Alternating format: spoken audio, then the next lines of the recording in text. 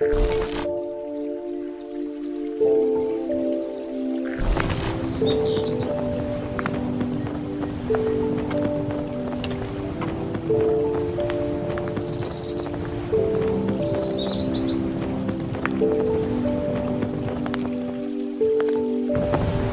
Rafiki.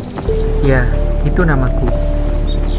Aku lahir di Pulau Garam, tepatnya di Kabupaten Pamekasan, Pulau Madura. Oh iya, berbicara tentang hobi sebenarnya banyak. Tapi saya teringat motivasi dari Ridwan Kamil, yaitu pekerjaan yang menyenangkan ialah hobi yang dibayar.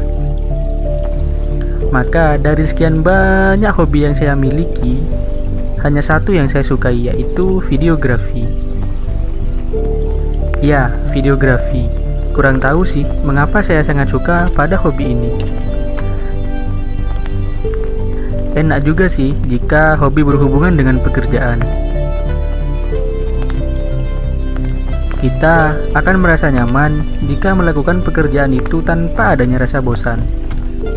Saya Imam Rafiki